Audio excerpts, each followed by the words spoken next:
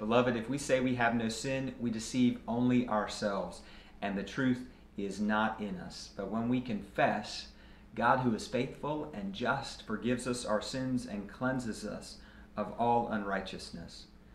So, as a community, let us confess our sins together, first using the, the prayer in your worship guide, and then in a time of silent confession. Let's pray together. God of Abraham, Sarah, and Isaac, God of Hagar and Ishmael, who gave us your Son, Jesus Christ the crucified, send your Holy Spirit to help us confess and truly repent of our sins. We turn against one another. We fail to care for the weak and poor among us. We pay no heed to the cries of the powerless. We seek our own advantage. Your Son emptied himself upon a Roman cross and revealed your eternal, self giving love. Forgive us, merciful God.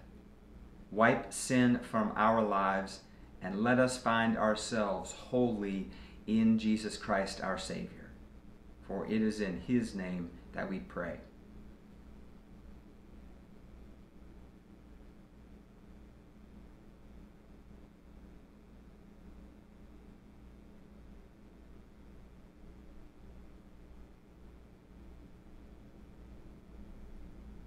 Amen.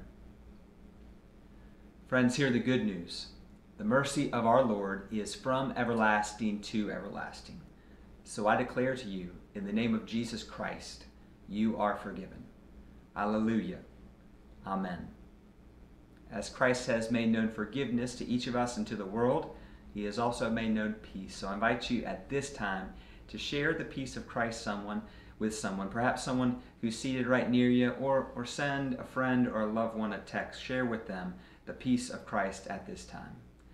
The peace of our Lord Jesus Christ be with you.